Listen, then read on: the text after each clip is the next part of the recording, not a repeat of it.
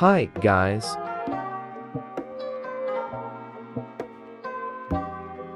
So today, if you're wondering on how to download Arceus X V3 update, it's pretty simple. It might be link on the Mediafire link or on their site in Google. But it's not released in public yet, only for beta testers.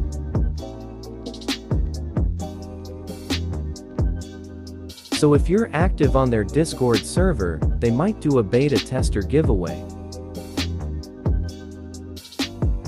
So that's all guys, let's wait for the release of the update.